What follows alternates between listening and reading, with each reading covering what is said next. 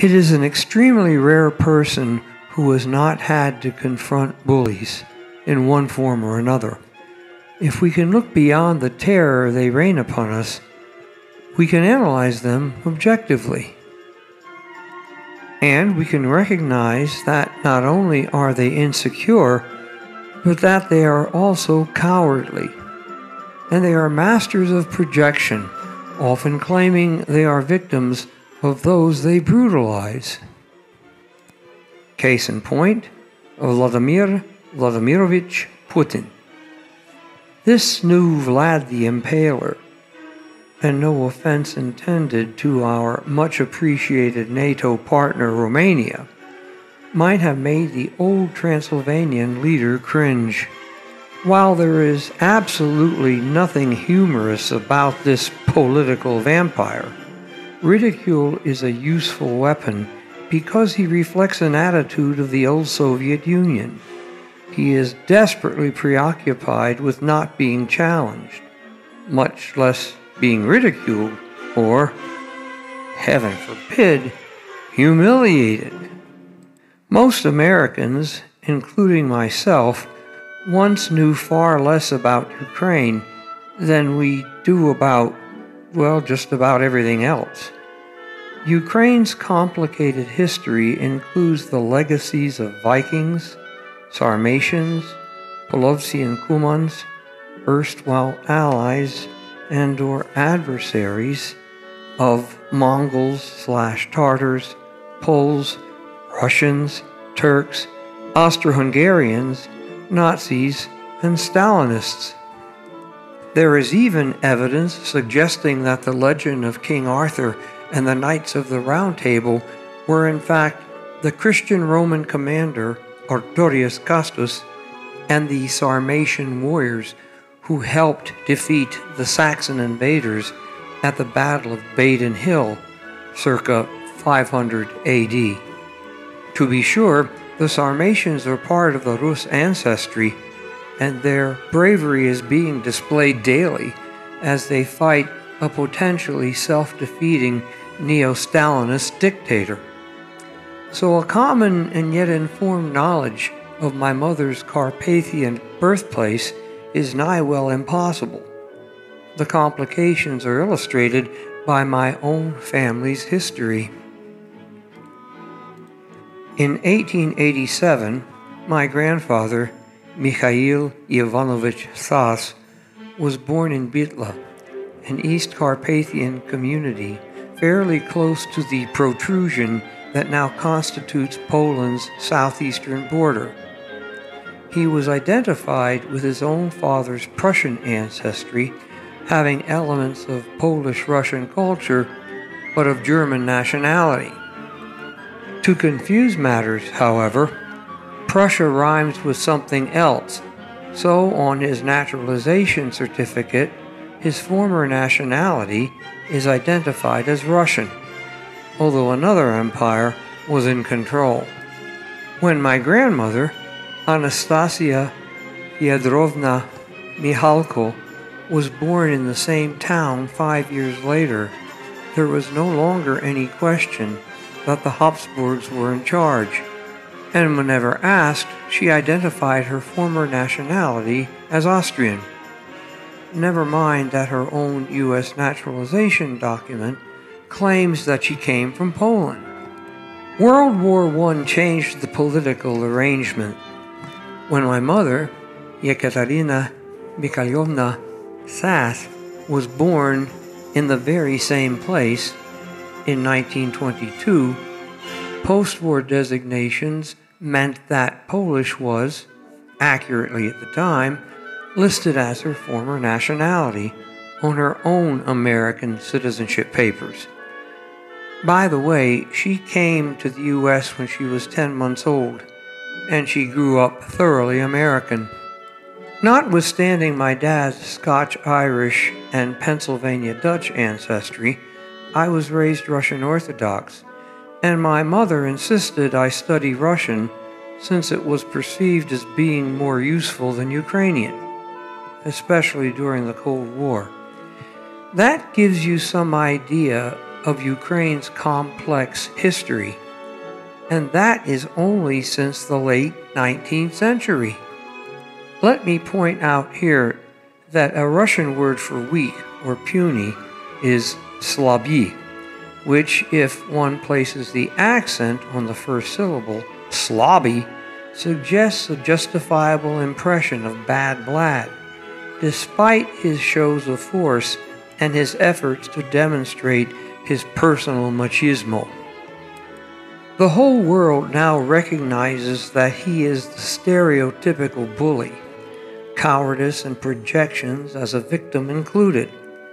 He exhibits what can be best described as his precarious grasp of the truth every time he opens his mouth, and never more so when he tries to argue that the national culture which gave his own country its two most outstanding sources of identity has never existed, or that somehow belongs to Russia. But let's take a look at the facts. First of all, Russia should thank Ukrainians for its name. Perhaps my calling Ukraine's history complex is a quintessential sample of understatement. It certainly involves a number of guest star invaders. Even her 9th century leaders, Rurik and Oleg, were of Varangian or Viking stock which may help explain why so many of us have blonde hair and or light blue or green eyes.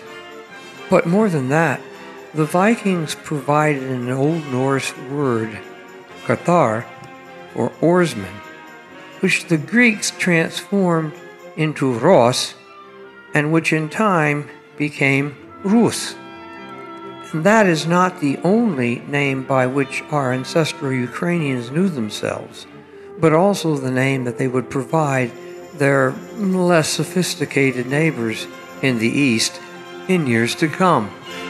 Establishing nominative identity is a great place to start, but beyond that, a far greater bequest is the foundation of a people's culture.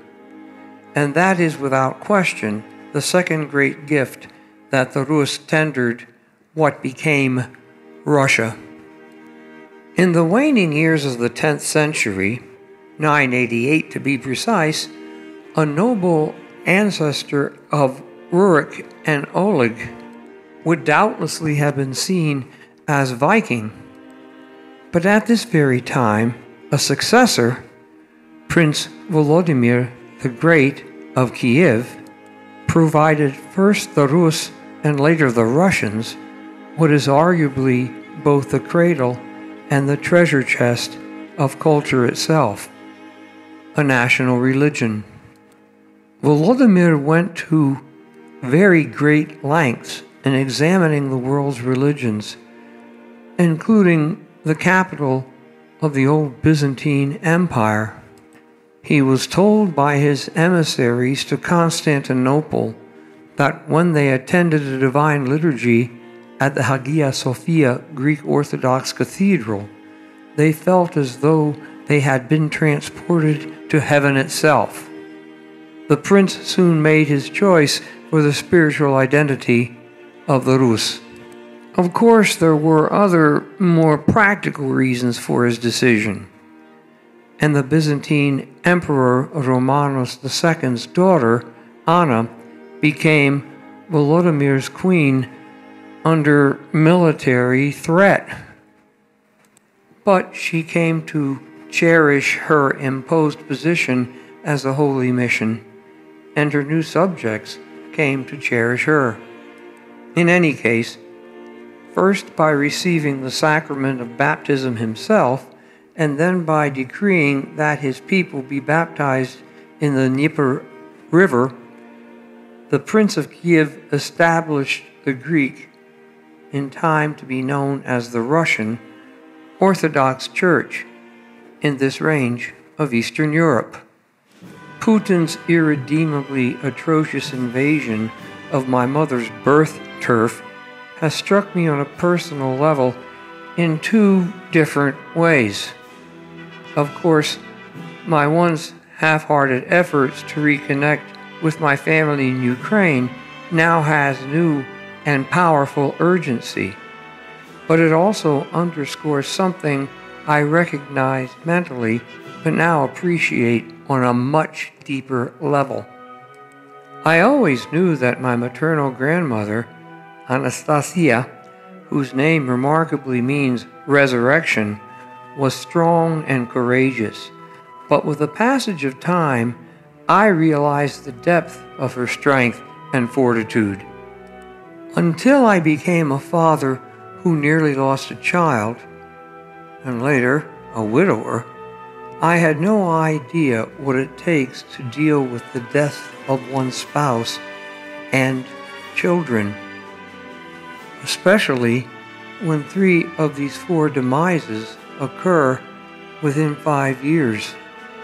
I still cannot fathom the loss of a spouse and three children. But now that I see the prowess and irrepressible resiliency of the Rus, also known as the Ruthenians, in the face of mindless slaughter, I can better appreciate what an extraordinarily powerful person my Ukrainian grandmother was.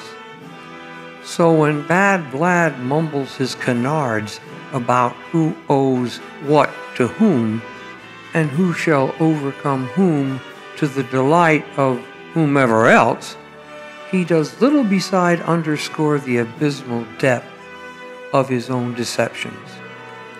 This includes his self deception that anyone outside the neo Stalinist dystopia he is trying to cobble by shoveling sand against the tide is in any way deceived.